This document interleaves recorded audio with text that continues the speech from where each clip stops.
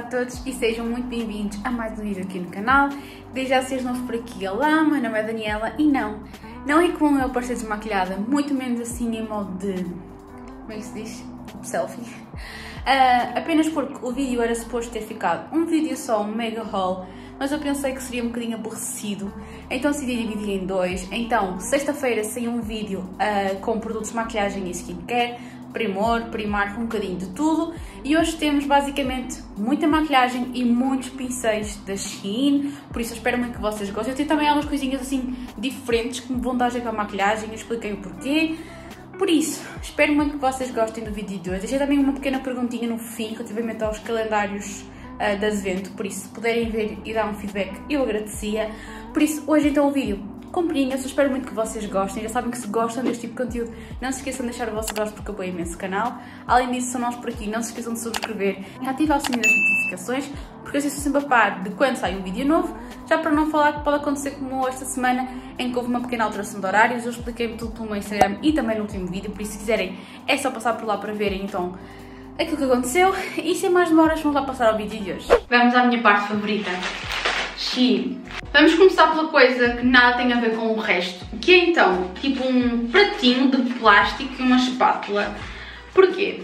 Porque eu gosto de fazer as minhas misturas. Muitas vezes porque as bases, lá está, uma pessoa está mais morena, a base não fica tão bem, junta um bocadinho mais escura. Se está mais clarinha, junta uma mais clarinha. Agora querem ir comprar aqueles conta-gotas que dá para clarear ou para escurecer, a da Revolution. Eu queria muito comprar as bases da LA Girl que fazem isso, mas estão sempre esgotadas, eu desisti de esperar ou ver se compras da Revolution ou então os da NYX. Mas então, isto vai-me dar imenso jeito para isso mesmo. Para que é que isto serve? Isto está produzido, já está assim mega sujo, tem plástico é para tirar fora.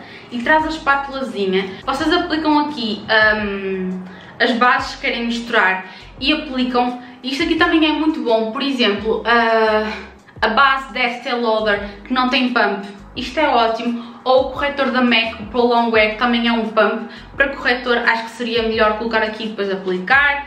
Ou a base da Primark, que também é imitar da Estée Lauder, também que não tem pumps. Acho que é o tipo de... Foi feito para isso, para misturar, para poder trabalhar com esse tipo de produtos que não têm pump ou que têm, que se calhar não são tão fáceis de trabalhar. Então comprei este conjuntinho, foi super barato, foi um euro e pouco. E mais duas coisas completamente fora do que é o resto, que é maquiagem comprei um pincel que é mesmo da Shein. Este pincel é porque este pincel é para aplicar uh, blush líquido ou em creme. Porque como vocês sabem, eu, uso um pincelzinho preto, está todo partido com fita cola.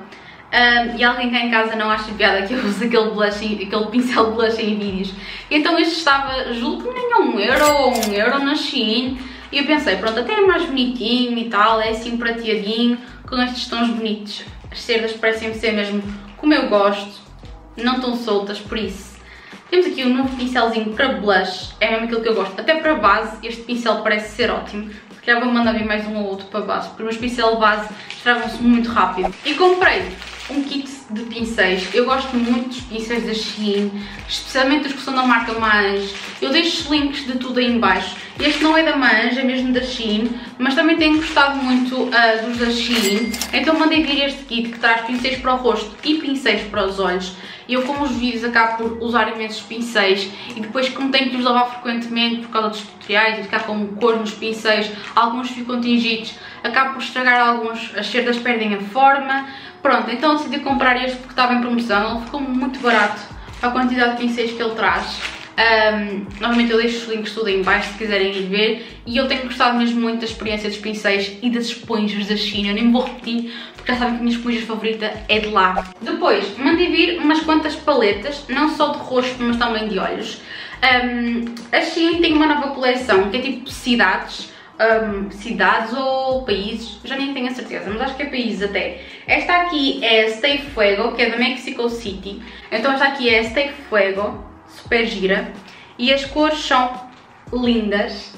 Vejam bem, são diferentes, não são aquele típico neutro, não é rosa, não é só castanhos, tem o verde, tem o amarelo, tem aquela cor assim mais escurinha, tem brilhos, tem matos. Eu estava muito indecisa entre esta e outra paleta que lá tinha, mas não sei porque esta chamou muito por mim, gostei das cores assim quentes e assim mais fortes e agora acho que combina super bem com a estação de outono Então, comprei esta amiguinha. Outra coleção nova que a Shein tenho era para ter comprado os pincéis, mas pensei, depois experimento os pincéis noutra altura. Esta é a coleção Glam 101.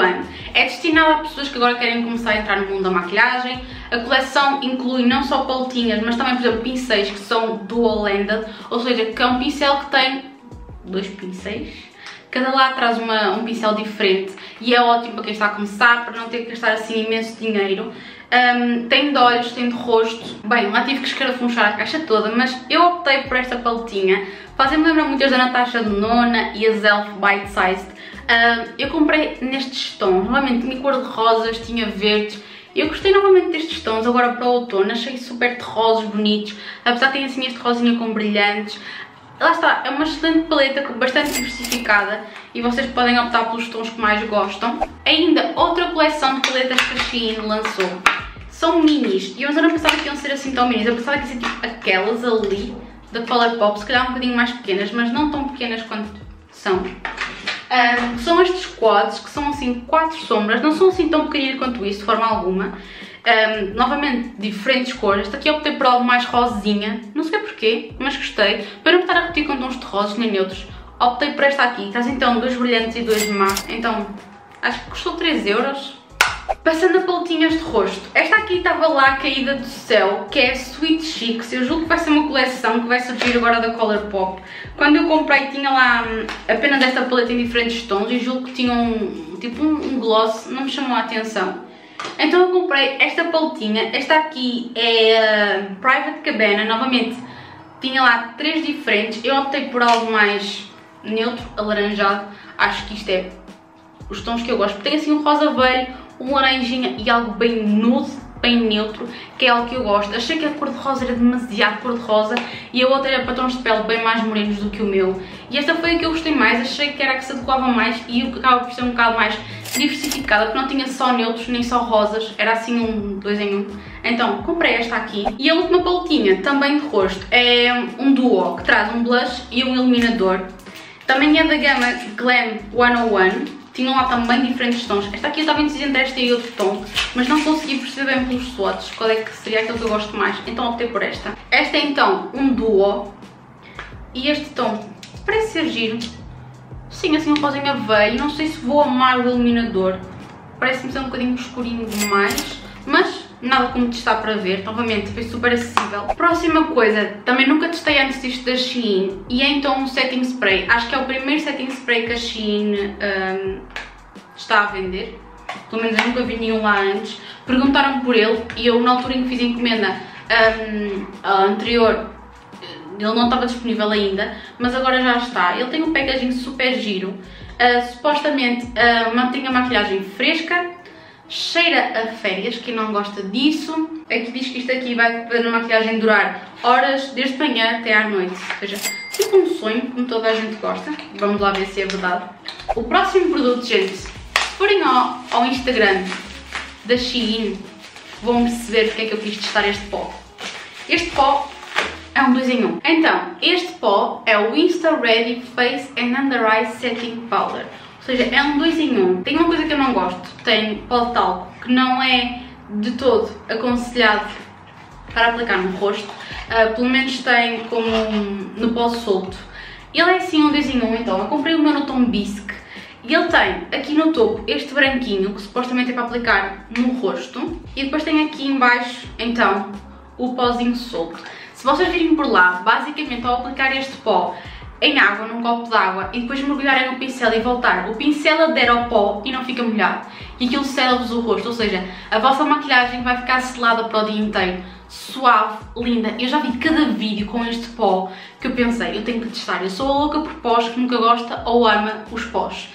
E este aqui eu tinha mesmo que testar, gente. Eu estou para lá ansiosa, apesar de não amar a lista de ingredientes, tenho ali alguns ingredientes que eu não gosto muito, um, mas quero mesmo testar a ver como é que ele fica na pele. Temos aqui dois produtinhos que vieram com packaging igual e são muito semelhantes. São em bastão, mas um é um bronzer e o outro é um blush.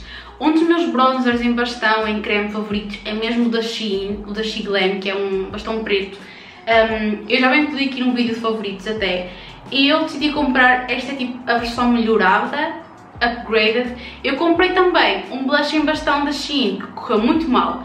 que eu não gostei mesmo nada, que aquilo era brilho na pele, a cor não era toda a minha praia. E eu então comprei novamente esta versão melhorada. Este aqui é o blush no tom Dreamer e ele é, lá está, um rosinha velho, como eu gosto. Sim, um tom queimado, que eu acho que vai ficar super giro nesta altura do ano, mesmo no verão está aquele de queimado. Algo que eu não gostei, pelo menos quando testei outra vez, foi este pincel. Senti que ele removia muito o produto, mas o produto em si eu gostei imenso, por isso vamos lá ver se eu vou gostar deste blush. Pelo menos o tom parece ser a minha praia, vamos lá ver a fórmula. O outro é exatamente igual, só que é um bronzer. Eu comprei o bronzer no tom Soft Tan. Novamente traz o pincel, que eu não sei até quando é que eu vou usar, mas é assim um tom frio, neutro, não é muito quente, que é o meu tipo de tom favorito. Mesmo a nível de bronzer, eu gosto de apostar, por exemplo, algo assim, uh, em bastão, em creme, líquido, mais frio, mais neutro e depois ir com um pó mais quente, acho que consigo controlar melhor e dar mais feições ao meu rosto do que ir logo com tudo quente, pelo menos é a minha preferência. Vamos lá ver se eu continuo a gostar ou se me mantenho pelo meu mais pertinho, que eu julgo que já nem encontro no site, mas que eu adoro. O último produto de hoje é então um Lip Sip Hydrating Lipstick, claro, bálsamo com efeito de batom, tipo um 2 em 1. Um, eu comprei o meu no tom Infatuation, eu achei interessante porque estes batons só tinham mesmo no, em tons nude e não tinha assim muitos tons clarinhos, eu gostava um bocadinho mais abaixo. Amei o packaging, assim em vidro, a dizer chic glam, super fancy e fez-me lembrar imenso os da, da Fenty. Este tom é assim bem bonitão, vejam bem. Por isso estou muito intrigada, mais um bálsamo, que eu precisava obviamente, não é? Mas amei o packaging, é mesmo muita gente. Tem tipo assim um vidro à volta deste packaging creme Gostei muito, por isso claro que eu tinha que comprar para testar, porque os meus lábios precisam. E pronto, gente, estas foram as comprinhas que eu tinha para vos mostrar. O que eu vos queria perguntar agora? Calendários de advento deste ano. Então, o da Look Fantastic, eu já vi, há, vocês pesquisarem pelo YouTube, há youtubers que já têm acesso a, a muitos desses calendários, e eu obviamente que fui dar aquele spoiler porque assim, os calendários não são baratos, são 95 euros para cima. E eu fui ver o da Look Fantastic e basicamente é uma versão com dois outros produtos diferentes do ano passado. Marcas iguais, em dias quase iguais. Uh, e é quase tudo skincare. É raro, muito raro o produto de maquilhagem, por isso este ano eu vou mesmo passar o da Look Fantastic, não vou comprar, acho que não... Este ano não, um, a meio da Cold Beauty, mas são 200 e tal euros, por isso vamos passar esse também. Gostei muito do da Field Unique, mas também passa aos 100 euros. O da Field Unique e da Cold Beauty são aqueles que eu mais gostei porque trazem bastante maquilhagem, bastante skincare e que inovaram relativamente ao ano passado. Um, estou muito inclinada para o da Sephora este ano, mas também já tive a ver uns sneak peeks e acontece que o da Sephora é quase tudo minis. Então não sei até que ponto é que compensa comprar um calendário de minis, é bom para testar, sim, mas eu gosto de comprar um calendário e saber que tenho ali o meu dinheiro de volta e não só em minis. Por isso estou um bocado indecisa, não sei bem por onde é que me virar. Por isso agradecer muito o vosso feedback. Se sabem de outros calendários que valem a pena, deixem aí embaixo nos comentários. Eu já vos contei pelo meu Instagram e muita gente também ficou na mesma que eu. Parece que é quase tudo igual ao ano passado, ou então é quase só skincare, ou então são. Por isso, agradeço o vosso a vossa ajuda aí embaixo. Vídeo terminado. Espero muito que vocês tenham gostado destas comprinhas. Já sabem que tem o link de tudo aí embaixo na descrição. Não se esqueçam de me dizer que calendários de advento é que gostavam de ver aqui pelo canal uh, muito em breve. Como sempre, se nós por aqui, eu agradecia muito que se subscrevessem. Há conteúdo novo por aqui pelo menos duas vezes por semana. Ativem o sininho das notificações para estarem a par sempre dos dias em que sai, porque tem sido um bocado aleatório por causa do dia de trabalho, ter estado cá o meu pai, um bocadinho de tudo. Já sabem que se gostam deste tipo de conteúdo, não se esqueçam de deixar o vosso gosto e de me seguir pelo Instagram, que assim tem sempre conteúdo extra por lá e mantenho-vos sempre a parte de tudo e mais alguma coisa. Sem mais demoras, vemos no próximo vídeo. Beijinhos!